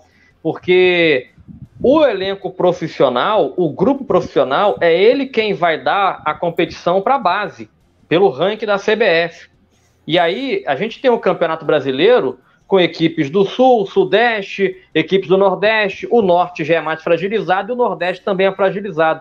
E o Fernando reclamou, ele falou: cara, a CBF tem que criar alguma maneira das nossas equipes de base aqui de Natal, por exemplo, o ABC, o América de Natal, esses caras têm que jogar, porque muitas vezes eles jogam só o campeonato regional, só o estadual. É. É, tentaram fazer a Copa do Nordeste Sub-20, acabou que não emplacou por problemas com a CBF. Então, se o Thales Magno, se a base do Vasco, se a base do Fluminense, do Flamengo, por isso que ele explicou, é, os jogadores têm poucas horas de jogo, você imagina os jogadores do Nordeste. Aí fica cada vez mais difícil revelar no Nordeste se você não revela, você não tem a receita entrando, os clubes vão sofrer mais é, com essa arrecadação. Então, é, é, o que o Cupertino falou no começo. O 7 a 1 é só um quadro na parede. O resultado do jogo é só um quadro na parede. O problema é muito mais profundo, vai muito além é, é, é das, da, da, da, carteira, passa por essa questão do cara é, não querer trabalhar na América do Sul, não querer trabalhar no Oriente Médio, já querer dirigir um, uma equipe de primeira divisão. Então, o debate é muito profundo e muitas vezes a gente fica na beira do oceano só molhando o pezinho. Vai lá, Vinícius. Ô, Vini, é deixa eu te dar uma direcionada. Você disse que já tem uma pergunta engatilhada aí, é, de mais uhum. uma de Vasco para o Copertino. Tem uma excelente aqui de CBF, para ele, de seleção aí, aí no chat. Que na sequência eu quero fazer uma pergunta sobre um jogador. Que, o, o Copertino agora ele, ele me acionou um gatilho aqui talvez seja um desses atletas que ele tem observado no período dele de CBF. Vamos lá. Eu vou te fazer duas. Que a primeira é rapidinha, e você já até explicou mais ou menos, né? Que o Cândido mandou aqui. Você, como auxiliar técnico do Vanderlei, ele ouvia bem suas sugestões, aceitava bem sua indicação de um jogador para ser substituído? Era tranquilo essa parte aí entre vocês? Tranquilaço, tranquilaço. Vanderlei sempre confiou muito no meu trabalho e lógico que a gente discutia, né? Às vezes ele dava uma pelada ali comigo, mandava eu para aquele lugar, mas eu segurava a onda, né, cara? Fazia cara de paisagem, vamos com tudo, tá certo, mestre? Vamos embora. Chegando é isso aí. Né? É, é, imagina. imagina. É, mas para ele, pra ele é, é para o Luxemburgo isso é vírgula, pô. No dia a dia, é, no tratamento, tá. sorrindo, ele faz isso. ele, tá funciona, ele funciona dessa maneira. Como ele fala, ele falou, Maurício, Maurição, eu, sou, eu, eu só funciono com confusão. Então eu falo, não, vai com tudo, pô, vambora, vambora. e essa aqui, Maurício, do Arthur, achei muito bacana também. Agora é a sua avaliação, não a do Pimentel, minha, do Kaká, não, é a sua. Como você avalia sua passagem pelo Vasco e gostaria de ser efetivado como treinador e o Lucha como coordenador técnico? Muito, muito. É o que eu estava mais esperando. Eu estou muito preparado em todas as situações, com todo com todo meu respeito que eu tenho aos outros profissionais. Eu me preparei muito, quem trabalhou comigo e quem trabalha comigo sabe disso. Eu estou procurando meu espaço dentro do futebol, né? Estou tendo paciência e resiliência de, de dentro do. Eu quero trabalhar muito no Brasil, sabe? Quero muito mesmo mostrar meu trabalho no Brasil. Acontece como eu falei para vocês, eu não sou um cara acomodado e graças a Deus eu tenho um mercado internacional. Então estou buscando o meu espaço por aqui. Mas a minha principal, meu, quando todo mundo fala que quer ir trabalhar na Europa, não, eu quero trabalhar no Brasil. Eu quero mostrar o meu, meu valor dentro do Brasil. E quando eu saí do Vasco, foi a primeira vez, se o Vasco tivesse me convidado para ser treinador, eu, eu, iria, eu iria aceitar com o maior prazer e, e ia fazer o meu melhor, porque eu estou muito preparado para assumir qualquer equipe no Brasil. Eu não tenho dúvida do que eu estou falando para vocês. E, e, em relação a, a, ter o diretor como Vanderlei Luxemburgo, seria maravilhoso, porque ele me daria um suporte muito grande. Né? Então, realmente, naquele momento eu achava que eu iria ser efetivado mesmo, por tudo que estava acontecendo. Como aconteceu agora com o Felipão e com o Paulo Turra. Né? O Felipão ficou de diretor, o Paulo Turra tá, assumiu o Atlético Paranaense. Era um processo que eu já conhecia todos os jogadores, conhecia o clube, sabia do que eu pensava. O Vanderlei me delegava muitas coisas durante a semana quem acompanhava o Vasco da Gama sabia da situação que, que a gente fazia durante a semana toda. Então, era uma coisa muito, muito tranquila para mim. Estava esperando, mas não aconteceu e a, a, vida que seguiu, né? Eu acho que faz parte. Legal. Exatamente. Eu vou agora. Vamos falar um pouquinho de seleção brasileira? Vou pegar Bora. aqui a, da, do Werley. O Werley, nosso parceiro lá da Arena do Galo, mandou essa aqui para você. Maurício, você fez parceria com o Alexandre Galo em vários clubes e seleção brasileira. Ficou frustrado por não ter dado sequência ao projeto olímpico que resultou na conquista do ouro no Rio 2016? Eu vou, vou sim, vou falar o porquê, né? Nós entramos na CBF 2000, nós saímos de um trabalho excepcional no Náutico, onde a gente levou a equipe quase para a Libertadores, 2012, e nós fomos assumir uma seleção brasileira é, olímpica em 2013, janeiro de 2013. E a gente acabou pegando a sub-17, pegamos a sub-20, pegamos quase tudo, sabe? Durante esse processo dentro da CBF, eu vou falar um negócio para vocês aqui. E em primeira mão eu vou dar essa notícia. Eu levantei jogadores todos, não, eu fiz todo o trabalho daquela seleção olímpica, junto com o Alexandre Galo. Nós pesquisamos todos os jogadores que estavam em clubes europeus que eram escondidos da CBF. Nós buscamos o Anderson, estava no Beira-Mar, de Portugal, o treinador era do Espírito Santo. Tava eu e o Galo no treino e nós descobrimos o Anderson lá. Eu posso falar para você aqui uns 10 a 12 jogadores que hoje são grandes jogadores no mercado internacional. E naquele processo a CBF não tinha absolutamente nada para as Olimpíadas de 2016 no Rio de Janeiro.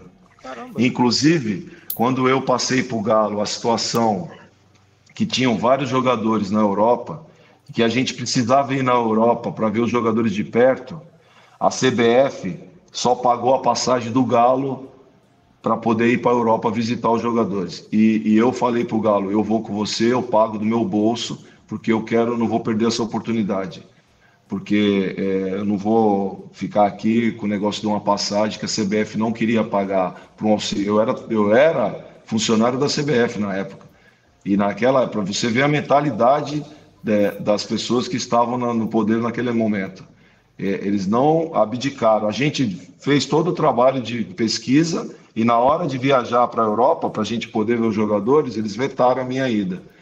Porque falaram que só iam pagar a passagem do Galo. E eu falei para o Galo, falei, Galo, eu vou com você, pode deixar aqui outros lugares que você ficar, nos hotéis e tudo, eu pago do meu bolso. Mas eu vou estar junto com você porque eu, eu preciso ver os caras de perto. Então, é, eu fiquei muito frustrado porque quando chegou em 2015, um ano antes da, da, da Olimpíada, os caras tiraram a gente. E ninguém sabe do que a gente passou lá dentro em relação a tudo que a gente fez lá. E deixamos de mão beijada o, o, o grupo que foi vice-campeão mundial. Eu vou relembrar vocês: o Brasil faz dois mundiais que não participa do campeonato sub-20. Está né? Tá disputando agora com o Ramon, que é um excepcional profissional, vai classificar o Brasil e vai fazer um grande mundial. É, nos últimos dois anos não classificou. A última vez que classificou foi a equipe que nós montamos em 2015, que foi no Mundial da Nova Zelândia. Quem assumiu um mês antes foi o Rogério Micali e, e o grupo quem convocou foi o Alexandre Galo através da gente e foi vice-campeão mundial. Perdeu a final para a equipe da Croácia. Então, é, eu fiquei muito frustrado. Fiquei realmente é, foi uma decepção muito grande, porque eu tinha certeza que o Brasil ia ser campeão olímpico, como foi, né? Essa pergunta foi legal é, de ter sido feita, ou Copertino. Eu já tive a oportunidade de conversar com Alexandre Galo em outras oportunidades sobre seleção brasileira olímpica. Acompanhei muito de perto é, o, o, processo né, de, de, de formação da comissão técnica, como foi feito o processo de escolha. E tudo que você disse aí foi o que realmente aconteceu, gente. Não tem papo torto aqui, não. Foi isso mesmo. Né? Graças ao trabalho é, deles lá no Náutico, é lógico que também já tinha uma, uma outra história, um outro retrospecto em outros clubes, mas o trabalho à frente do Náutico acabou pesando e pesando muito. E aí eu lembro, por exemplo, o Ederson, hoje, que está no Manchester City, na época ele jogava no Rio Ave, ele era um jogador cotado para atuar na seleção portuguesa de base. Alexandre Galo, Maurício Cupertino foram lá. No Sambari Love, impediram. É, o Wallace, que jogava no Braga, que era defensor, lateral, zagueiro, não lembro bem agora, estava é, no Braga de Portugal. Também tinha convite para é, obter a cidadania portuguesa para jogar na seleção portuguesa. Vamos lá, Vinícius, zagueiro da Lazio, da Itália, também tinha dupla cidadania. É... Fabinho, do Fluminense, é Mônaco, agora no Liverpool, também era outro jogador que também estavam passando a conversa nele para jogar fora. Rafinha Alcântara, que é irmão do Thiago Alcântara, tinha tudo para ter jogado na seleção espanhola. Galo e Copertino foram lá é, contornar a situação. E tem um outro jogador que recentemente teve um, um fim de passagem polêmica no Brasil, que foi o Andras Pereira, né? Que ele tem dupla cidadania, né? É, é, é, ele é belgo brasileiro e que também passou por esse processo que você e o, e o Galo é, atuaram nos bastidores para impedir que ele atuasse por uma outra seleção. É, tecnicamente falando, eu ainda acho que ele sobra para o nível do futebol praticado no Brasil. Eu acho um jogador taticamente muito bem dotado, um jogador inteligente, mas que ficou marcado por aquele lance na final da Libertadores contra o Palmeiras. Como é que se recupera um jogador como esse, o Cupertino? Você já conhecendo todo o processo, toda a formação, tudo que ele passou, ter saído cedo do Brasil, ter se formado na Europa. É, como é que se recupera a imagem de um jogador que, embora hoje ele esteja. Ele caiu para o alto, ele saiu do Flamengo, mas ele está na Inglaterra. Não está no, no, no, no, no clube top né, da Inglaterra, mas ele está no forro e se destacando na Premier League. É, o Andrés Pereira realmente é um bom jogador. Eu tive a oportunidade de trabalhar com ele na seleção sub-20. Ele foi disputar um torneio comigo na China. Na época, o Alexandre Galo era, era o auxiliar do, do Felipão, ele teve que fazer o trabalho de Copa do Mundo. E eu fui disputar um torneio na China e o Andrés Pereira foi convocado a primeira vez, né? Certo que de lá para cá É, já se passaram alguns anos, né? O jogador evoluiu, é, ele é um jogador diferente daquela época. É, eu acho que quando, for, quando o Flamengo contratou ele para substituir o Gerson, é, o Gerson é, ele conseguiu fazer o oito com muito mais com muito mais propriedade do que o Andréas Pereira. Eu não vejo o Andréas Pereira como número 8. Eu acho que o Andréas ele pode fazer um, um, um, jogo um pouquinho mais ofensivo, é a característica dele mais. Ele tem um arremate de média e longa distância muito bom, um jogador inteligente, taticamente, mas eu não vejo ele com poder de fogo, tipo para fazer um suporte ali para o primeiro volante, tão grande como era o Gerson. E eu acho que o Flamengo sentiu muito isso daí. Principalmente aquele erro que ele teve, que você acabou de citar, deixou ele marcado por causa disso. Mas é a característica do jogador, e às vezes os caras não entendem. De repente, a função dele ali, se colocasse um jogador como o Thiago Maia na função dele, acho que seria melhor do que ele, ele, ele como, como ele vinha sendo aproveitado no Flamengo. Eu achava que ele era um pouquinho mais para frente. Eu vendo os jogos do Flamengo e eu conhecendo o jogador, né? Eu achei que, mas como ele estava dando certo, estava batendo falta, fazia uns gols, é, o time do Flamengo sempre teve nos últimos anos aí fazendo grandes competições, então as coisas estavam acontecendo para ele. A partir do momento que ele falhou, aí vieram à tona todos esses questionamentos. Mas eu continuo acreditando que ele é um bom jogador, sim. Para recuperar um jogador desse é só jogando. Realmente ele voltou para um grande centro agora. E para os profissionais que estão trabalhando com ele, no caso do treinador, ter a sensibilidade de colocar o jogador na melhor posição dentro das características do jogador, sabe? Então, eu acho que isso daí foi um, uma situação que, que, que eu vi no Flamengo acontecer. E eu conversava com as pessoas que às vezes me ligavam para perguntar sobre o Andrés Pereira. Eu falei, acho que ele está jogando na posição errada. Ah, mas ele está jogando muito bem. Falei, tudo bem, mas eu acho que ele não é o número 8, ele não é o cara que nem o Gerson. O Gerson, olha só que história interessante eu vou contar para vocês agora, se você Opa. permitir, né? Eu não sei se tenho tempo ainda, mas o Gerson, eu fui ver observar o Gerson quando ele era sub-15 no Fluminense. O Gerson era pequeno e rápido. Ele jogava pela direita e tinha um canhotinho, um outro destro, o Paulinho, que era do tamanho dele, outro rapidinho pelo lado direito, esquerdo. Eram os dois melhores jogadores do Fluminense. Aí o Gerson teve na fase de, de da, da, formação de atleta, quando o cara tem 14, menino tem 14 anos, 15, ele dá o estirão, que eles chamam fisiológico. O cara tem uns que cresce, tem outros que ficam mais forte, tem outros que ficam mais. O cara é rápido, fica alto e lento. Aconteceu exatamente isso com o Gerson. Ele cresceu e foi ficando mais lento. Só como ele tinha uma qualidade técnica excepcional, ele foi para o 10, aí trouxeram ele para o 8, e hoje ele faz o 8 e o 6 com muita propriedade. O 6 eu não sei se ele faz, mas ele tem uma qualidade técnica tão maravilhosa. O Gerson é um cara tão especial como jogador de futebol, que o 8 caiu perfeitamente para ele. E ele, quando começou essa categoria, isso foi, foi mérito de quem? Do profissional que trabalhava com ele, do cara que conseguiu enxergar que ele não era mais ponta direita, que trouxe ele para o meio, como 10. Ele não tinha mais capacidade de jogar porque ele ficou alto, grande e lento. Trouxe ele para 8. Achou a posição do cara. Espetacular. Sensacional. Espetacular.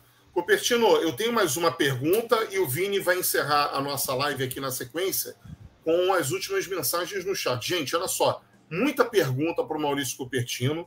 É, com certeza, ele, Rogério Corrêa, Felipe Sudré, Josué Teixeira e Marcelo Cabo estão disputando o prêmio da temporada 2023 de Reis do Chat. É impressionante. Quebrou o chat. Quebrou o chat do canal porque vai ser impossível é, a gente é, é, registrar todas as mensagens. Então já fica aqui um combinado com o Maurício Copertino. Ele retornando para o Brasil, faremos a segunda temporada ou mudando de clube lá no exterior, pode ser que ele vá para um clube de ponta dos Emirados, vá para a Arábia Saudita, para o Catar, ou assuma uma seleção lá no futebol asiático. Então, teremos Opa. a segunda temporada de Maurício Copertino é, muito em breve. Faremos na sala de imprensa do clube, ou na sala do treinador, onde for olha, melhor o final da, olha, internet. Combinado, combinado. Gostei, gostei, gostei, gostei. Vamos providenciar os passaportes, então, o Cacá. Para ir para o Oriente Médio. O, o vamos, vamos. só, só para encerrar mesmo, aqui da minha parte, eu estou lendo aqui a primeira convocação do Alexandre Galo, né, na parceria contigo. É, eu estava nesse dia na CBF, puxei aqui no meu computador. É, dia 11 de agosto de 2014. Tá? Foi a primeira convocação de vocês para a seleção brasileira olímpica.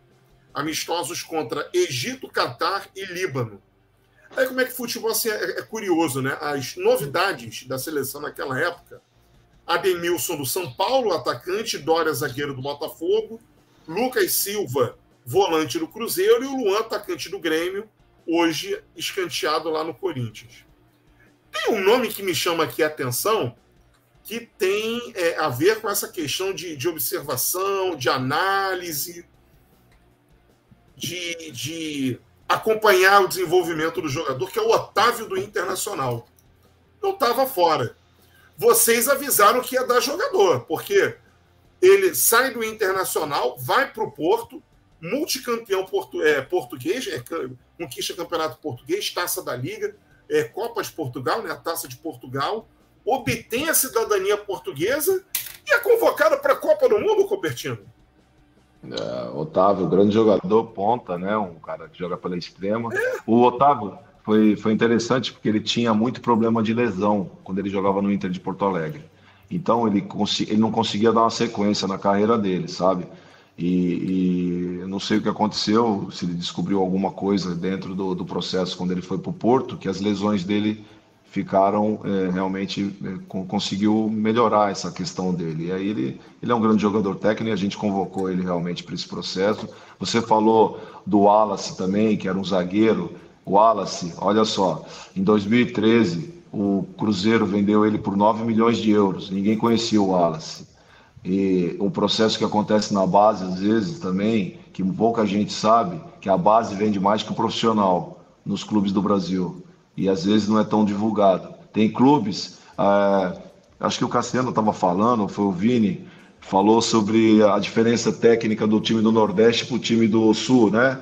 Acho que foi algum de vocês que falaram aí do ABC, de um treinador. Eu falei, isso, aí. Isso, isso. Olha só o dado que eu vou dar para vocês. Em 2014, eu, a gente tá, em 2014, foi isso? É, 2014 nós disputamos, 2013 nós estávamos acompanhando a Sub-17, porque nós fomos para o Mundial. Nós disputamos Sul-Americano com a Sub-17 e depois nós viemos para o Mundial aqui nos Emirados Árabes, exatamente onde eu estou morando hoje. Olha só, e eu levantei um dado que era impressionante naquela época, que eu acredito que não deva ter mudado muito. Eu estava comparando em relação a esse negócio de jogadores que são formação de base. Eu não sou especialista em base. Eu fiquei, eu era, sempre fui um cara de profissional. Só que quando a seleção brasileira me oportunizou de trabalhar lá, eu me aprofundei muito, porque tá diretamente hoje eu vejo quanto que é importante o treinador da equipe de cima entender todo o processo que acontece nas suas categorias. Porque é só assim que ele consegue, através do seu peso, um cara que está trabalhando na primeira equipe, ele fala alguma coisa dentro do clube, dá um eco gigantesco. E é isso que eu penso. Por isso que eu me aprofundei e eu gostei muito. O, o time do Náutico, na sua categoria sub-17, tinha jogado na temporada toda 13 jogos a equipe do Inter de Porto Alegre, a equipe do Cruzeiro, do Atlético Mineiro, do São Paulo, do Corinthians, jogaram em torno de 75 a 85 jogos. Qual é o atleta que vai desenvolver mais? Uma pergunta que eu faço para vocês. É o né? cara do Sul cara que está jogando mais, né? Exatamente. É o cara que joga mais. Aí vem todo o processo de formação de atleta, das 10 mil horas, que o cara lá do Nordeste, ele não tem competição para disputar.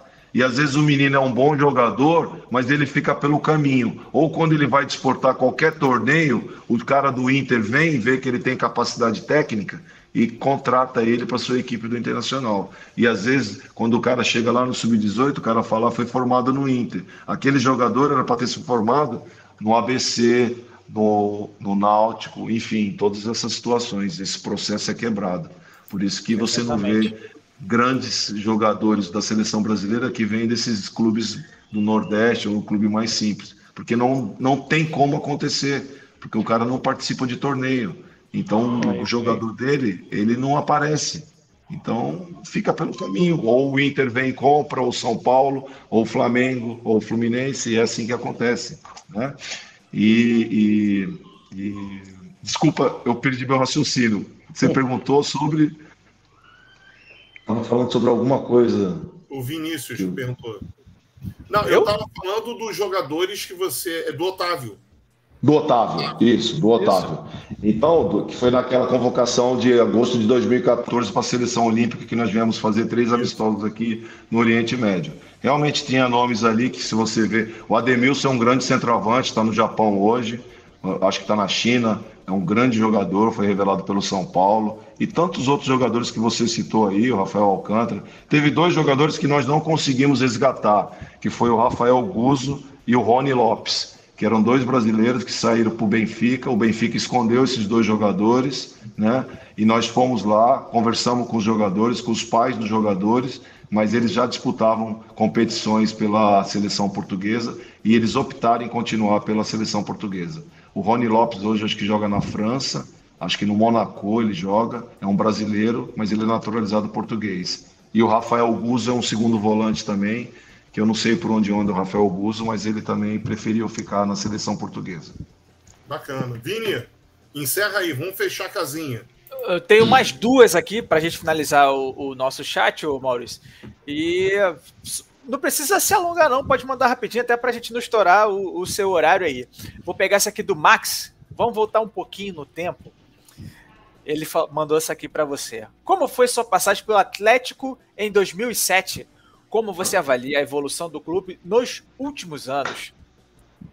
É, foi um momento, foi um momento que a gente trabalhou no Atlético Mineiro muito problema político. Não foi um, não foi um ano bacana. Nós chegamos lá tinha muitas coisas assim que que estavam briga política, atrapalhou muito. E eu fico muito feliz que o Atlético Mineiro tenha evoluído tanto hoje, né? Está construindo, está terminando a sua arena, acho que vai inaugurar agora esse ano está montando outra grande equipe. É uma equipe que tem por trás grandes investidores ali e, e procura se estar tá o tempo todo é, procurando se atualizar em termos de CT de treinamento e está fazendo as coisas é, como tem que ser feito numa equipe profissional. E a gente fica feliz, né? Agora só espero que se através agora dos, dos grandes patrocinadores saírem, que ele consiga se manter sozinho, né? que acho que isso que é um grande desafio para os clubes brasileiros, né? Ou ele vira SAF, ou se ele, como o Flamengo, ele consegue andar pelas próprias pernas e vai comprando o mundo, porque o Flamengo agora não tem mais limite, né? Então é, é, é isso que eu espero, que um Atlético Mineiro se torne forte mesmo pela sua organização, por, por, tudo que acontece dentro do clube e não ficar dependendo de patrocínios aí, de grandes investidores que possam bancar. Porque quando esses caras saem, a montanha desaba, né? É isso aí. E também tem é. um aqui do Denner. Denner te acompanha de longa data. Vamos voltar um pouquinho mais atrás também. Ele mandou aqui pra gente, para você no caso. Acompanhei a carreira do Cupertino, mesmo sendo corintiano queria perguntar o que faltou para o Santos daquela época quebrar o tabu, já que chegou perto algumas vezes. Faltou alguma coisa, Maurício? Faltou um CT de treinamento, um campo de futebol, pagamento em dia, faltou um monte de coisa, cara. Sabe? Na época era o São Paulo, era o do Tele Santana. Pô, CT de treinamento, pagamento em dia, bicho adiantado, tudo. A minha equipe fazia é, coletivo na praia. Então, então, você quer quem trabalha com futebol, é simples, eu não vou ficar aqui embromando uma resposta tão simples e evidente. Nós não tínhamos a menor capacidade de poder competir com o São Paulo, com o Palmeiras da Parmalat do Vanderlei Luxemburgo. Impossível. Eram as duas melhores equipes do Brasil, São Paulo e Palmeiras. São Paulo do Tele Santana e o, o Palmeiras do Vanderlei Luxemburgo, da época Papalati. E nós não tínhamos dinheiro para. O Pelé assumiu, e, se vocês me permitirem, vou até registrar isso aqui. O Santos, todo mundo fala do Santos que começou agora, com a história do, depois do Robinho e do Pelé. A virada do Santos aconteceu nessa época. Nós não podemos ter conquistado títulos mas a minha geração de jogadores, 93, 94 e 95, é, conseguiu fazer uma equipe, montar uma equipe com todas as dificuldades que o clube tinha, que eu acabei de citar, e naquela temporada de 95, através do Giovanni, do Jamel, do Marcelo Passos, de toda aquela time que fez aquele grande competição, conseguiu levantar fundos financeiros para poder construir o seu CT de treinamento. E a partir dali é que o Santos começou a ter condição de poder revelar os meninos da Vila realmente com muita mais é, é, oportunidade. Aí apareceu o Robinho, apareceu depois a outra geração do Robinho, depois a geração do Neymar, e aí o Santos deu o seu, seu grande salto. Mas o Santos estava falido nesse período, e através dessa nossa geração, com a venda do Giovanni para o Barcelona, foi que o Santos conseguiu melhorar sua, suas condições. Cara, espetacular, hein? Legal. Legal mesmo. Ô, então, ô Maurício, você, você ia falar alguma coisa do Pelé? Ele teve participação nessa época, alguma coisa? O Pelé foi sensacional, fica aqui até o meu registro, não só para ele, como o Roberto Midinamite, que é outro ídolo, uma magnitude gigantesca, né, cara? Foram dois, assim, caras, assim, que realmente fizeram uma história maravilhosa. O Pelé, pô, a gente, o mundo inteiro eu tô, eu tô vivendo aqui hoje. Precisa ver o quanto de gente veio falar comigo em respeito ao Pelé, principalmente os caras é, que, que viram o Pelé jogar, né? E nessa época ele foi o único cara que pegou o Santos. Só que o Pelé não gostava de ser presidente, nunca quis ser. Ele colocou o advogado dele, se vocês levantarem aí vai ver, Samir Abdurrak. Ele foi o presidente do Santos em 95 quando o Santos estava falido, ninguém queria pegar. O Pelé pegou, colocou o Samir Abdurrak e colocou o Clodoaldo como diretor técnico da, da, da, porque ninguém queria mais pegar o Santos. E através daquele trabalho que ele fez, ele começou a pagar todo mundo em dia, né? E, e fez o Campeonato Paulista tipo um laboratório.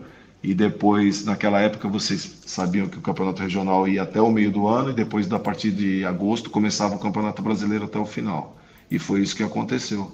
Ele conseguiu reunir, só permaneceu no time de cima o Galo, o Marcelo Passos e o Edinho. O resto ele, ele não conseguiu pagar mais ninguém.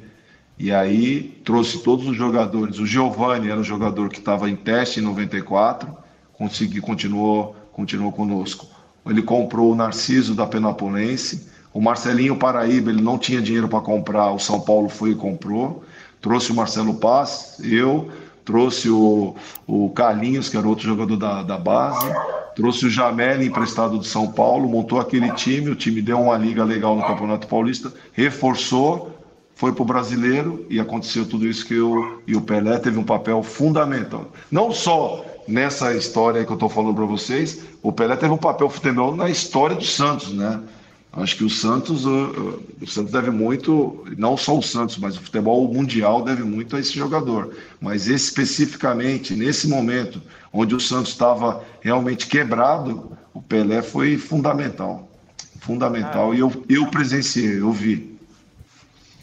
Cara, espetacular. Existem histórias que só vivendo os bastidores para conhecer, né, Kaká?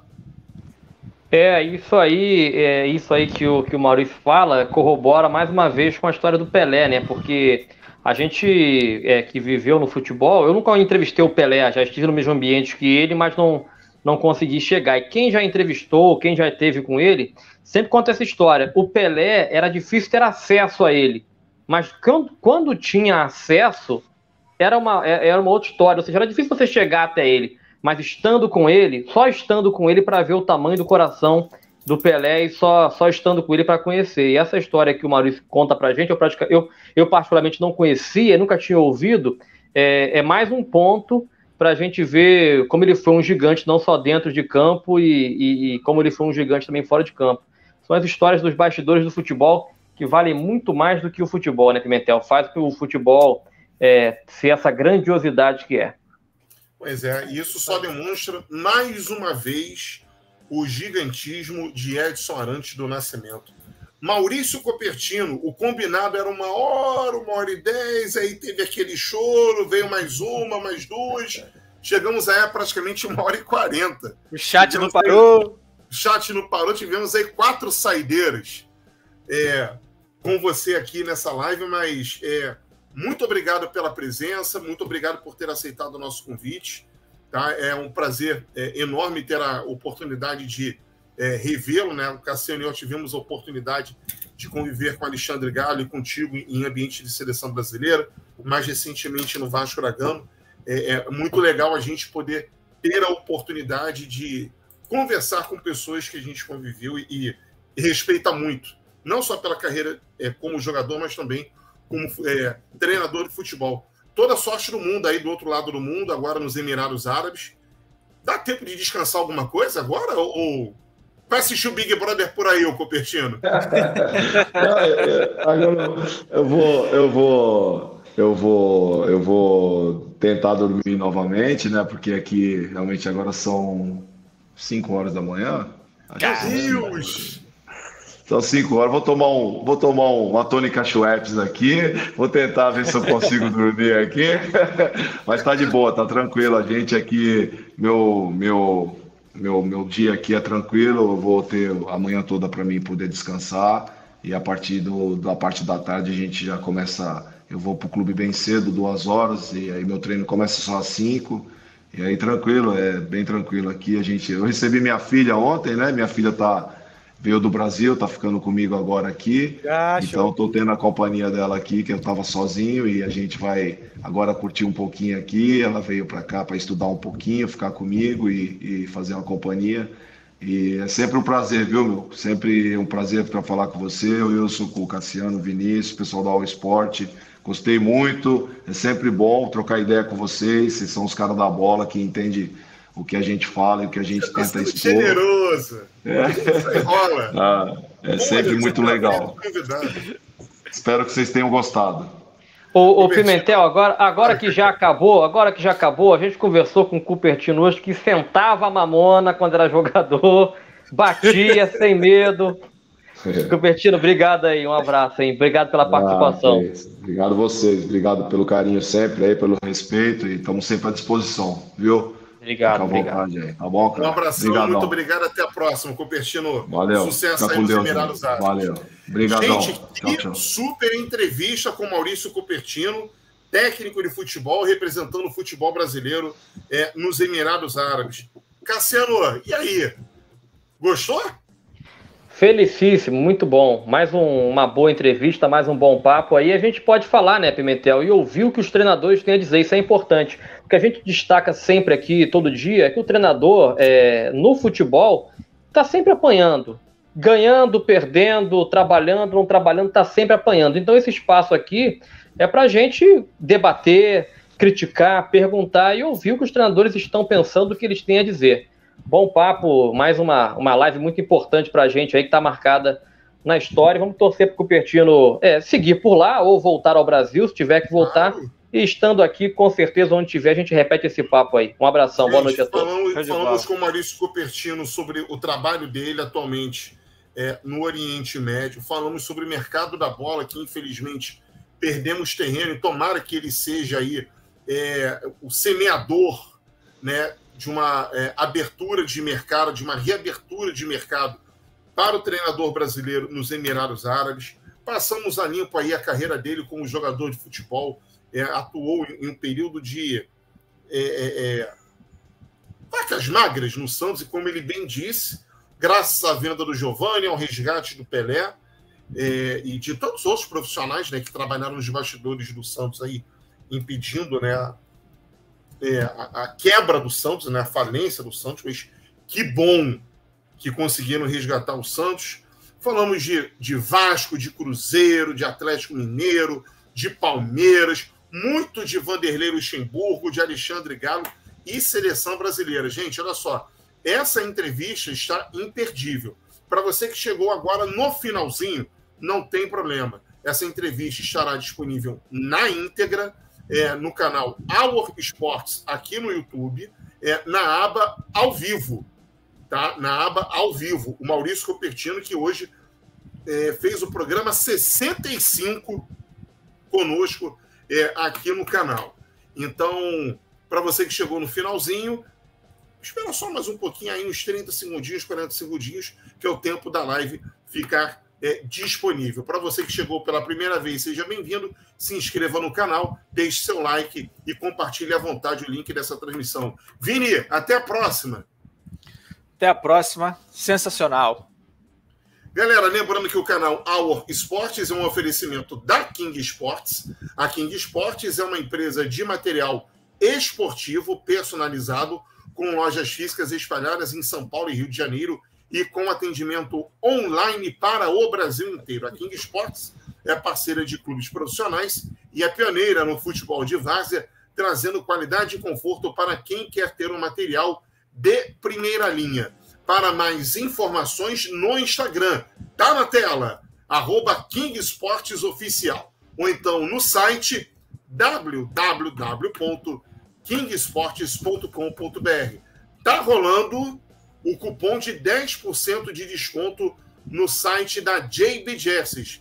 Faça seu cadastro e enche o carrinho de compras com os produtos da empresa e adquira qualquer mercadoria, qualquer camisa, boné, NBA, camisa retrô, modelo atual, com 10% de desconto. É um presente do Cassiano Carvalho, do Vinícius Teixeira e do Juan Medeiros, nosso parceiro. Dezão, cupom Our Esportes liberado, galera. Um forte abraço. Até a próxima. Tchau. Tchau.